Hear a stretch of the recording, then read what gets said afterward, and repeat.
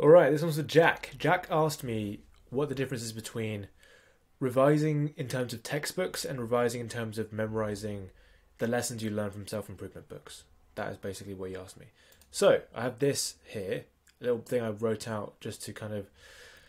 When I initially saw this question, I was like, okay, there's a difference. There's something I need to kind of say here before I talk about what I think out loud, right? So I wrote this down.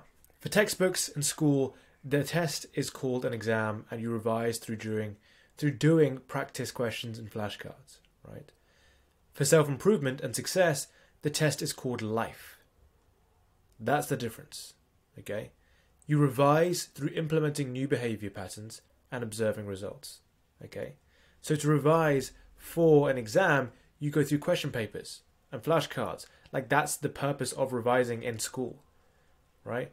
But revising in life is what self improvement books are for, right? So the exam is life, the test is life, right?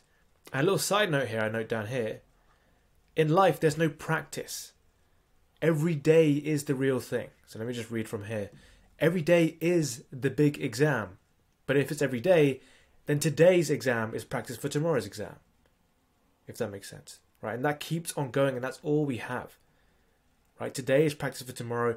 This month is practice for next month. This year is practice for next year. Right? Our childhood is practice for our adulthood. That's all it is, right? And that's all we have. You cannot revise a self improvement book in the same way that you can revise a textbook. Okay? It, they are different things, right? And I note here as well a difference between memory and understanding, right? Memory with an exam, with a like an academic kind of thing, right? You can get away with using memory to kind of just memorize what they want to have as the answer and just like get away with doing that, right? You might be better with understanding, but you can get away with memory for academic exams, for school subjects, things like this, right? But in life, it's very critical that you learn the understanding of it.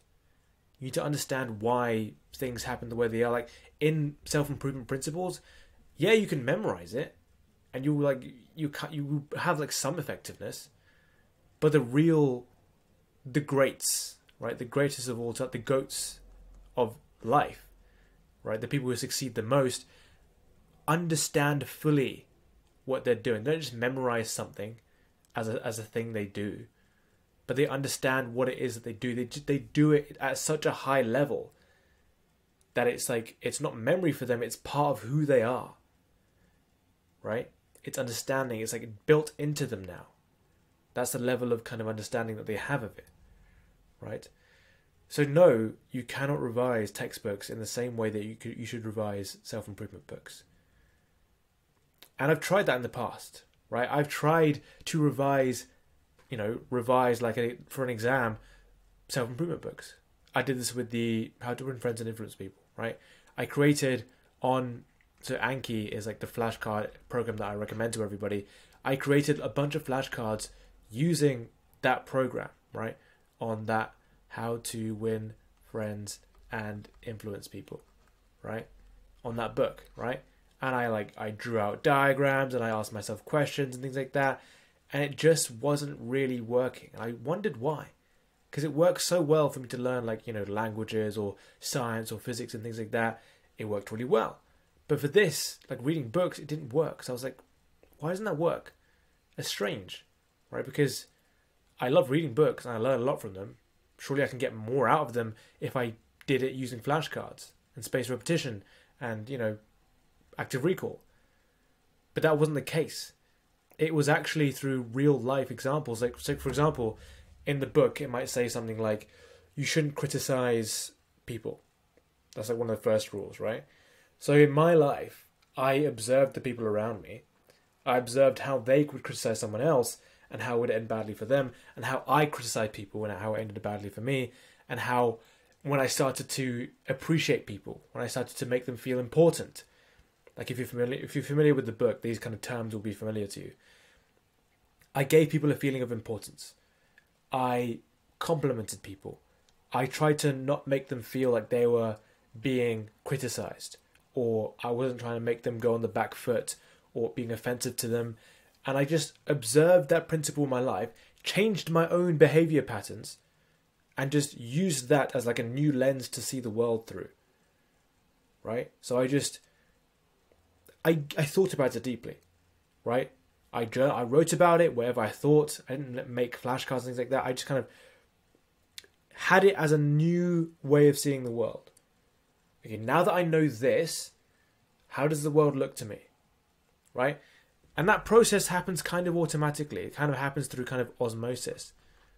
Right?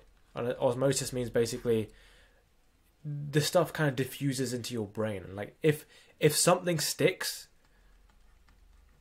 then that's all it takes.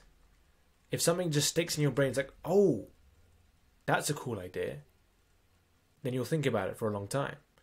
And if you think about it for a long time, you will observe it in the world in general. And that's what it is to read a book and learn lessons from it. To learn that and observe it in the world. Right? To because like if a book is written well, it is written in such a way that it does stick in your brain. It will tell you stories, it will tell you anecdotes, it will tell you how it applies in real life. And so you will be able to observe it in real life. Right?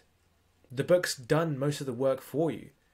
It's you that has to kind of pick which lesson is relevant for you to learn. And then focusing on that happens automatically. If you read like a hundred bits of advice, there'll be one bit of advice that sticks out above the rest, right? And that doesn't mean the other bits of advice are irre- irrelevant to you. It's just that that one bit of advice is what means something to you. And that's not a bad thing. That's what you're focusing on now, and that's your chapter of your life right now is learning this lesson. Right? And so you learn that through having it in your head, just observing in real life, changing your own behavior patterns. And life is the way to learn it. You learn the book through life, right? I don't know if I've hammered it home hard enough yet, but I've I'm kind of, I feel like I'm repeating myself a little bit here. That's what it is, right? There are no there are no like past paper questions, right? The book is the records of people's lives and the lessons that they've learned. So that's the closest thing we have to like past paper questions right? It's like a past paper answer booklet, really. It's not a question paper. It's a past paper like guide to life. It's a past paper kind of how do I say this? Like hack, like a hack compilation, life hack compilation, whatever you want to call it, right? It's a compilation of lessons that people have learned and accumulated over time and structured in such a way and built it over years of time to like make it the best thing that they have to to give to the to, to human race right and so that's what it is that's what it is and that's how you can learn best from self-improvement books right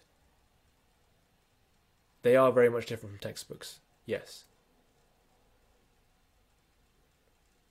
and that's what I've learned over life, over the course of my life, right? I have, I've actually tried. So I thought it was funny you kind of mentioned this because I have actually tried to revise a book just like a academic subject, like a textbook, and it didn't work. And I was like, what? Why doesn't that work? It's because of this distinction we can make between, you know, academics or academia and self improvement, right? And the difference is, you know, an exam like a like a sit down pen and paper exam or life right? Those are two different categories of things right? Like real life tangible stuff you do in every day right? So i think that's all i have to say.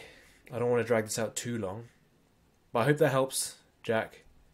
And yeah thanks for watching. Yeah take care. Peace. Not too bad.